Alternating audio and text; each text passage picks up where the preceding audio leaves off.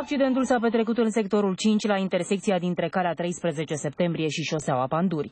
Șoferul autoturismului susține că a trecut pe culoarea verde a semaforului. În momentul în care a ajuns la jumătatea intersecției, din lateral a venit mașina de poliție. Impactul a fost violent. Autospeciala a lovit în plin autoturismul care a mai mers câțiva metri, după care a lovit bordura și s-a răsturnat. Era băut de dumneavoastră? Era băut?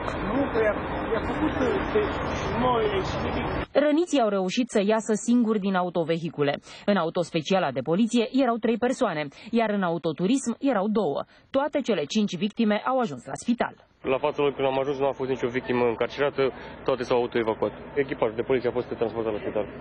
Polițiștii au deschis un dosar de cercetare penală. Oamenii legii urmează să stabilească dacă autospeciala era în misiune și dacă circula cu semnalele acustice și luminoase pornite.